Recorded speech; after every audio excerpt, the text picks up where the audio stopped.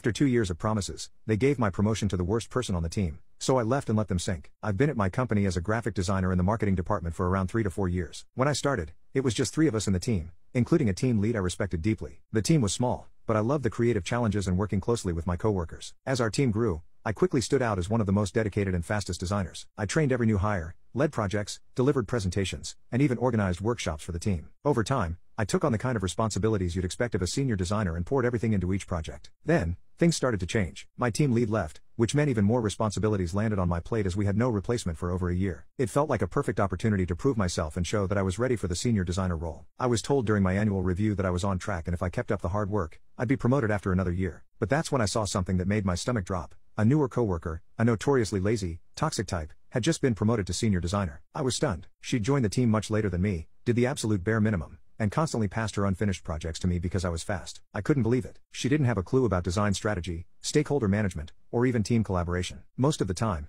she'd sweet talk the higher ups, taking credit for things she didn't do and then passing any real work to the rest of us. What really killed me was seeing her parading around, acting like a leader, telling everyone else how to work, and setting team guidelines she barely followed herself. She even had a reputation among stakeholders as impossible to work with. They frequently requested that I handle their projects instead of her. After months of this, we finally got a new team lead, and I saw a chance to fight for the promotion I'd been promised. I put together a presentation with all my project successes, positive feedback from coworkers, and a portfolio of senior level work I'd been handling. The team lead was impressed and acknowledged that I was one of the most talented designers on the team. I thought, finally, someone saw my hard work. But not long after, the same coworker messed up a big project, affecting not only my workflow but also my reputation because she looped me into it to cover for her. I corrected her work, but instead of appreciation, she stormed into the office and started yelling, accusing me of embarrassing her in front of the stakeholder. I calmly explained that I was simply following project guidelines, which she had ignored. When our team lead got involved, he agreed that I was in the right, but he still seemed scared to confront her fully and ended up coddling her to keep her quiet. By the time my next annual review rolled around, I'd had enough but held on to a shred of hope that I'd finally be recognized. Instead, my team lead gave me a 3-star rating out 5 and told me I should be more present. He had the nerve to compare me to the lazy coworker, saying I needed to emulate her social presence. I was floored. I'd been the one keeping our team running, training new hires, checking on everyone's work, even fixing her mistakes, and this was how he rewarded me? I refused to sign the review papers, telling him I wouldn't be proving anything else. I told him that if he thought she was senior material, then he could let her do the work. I'd be stepping back and doing only what was required. No more senior level tasks, no more training,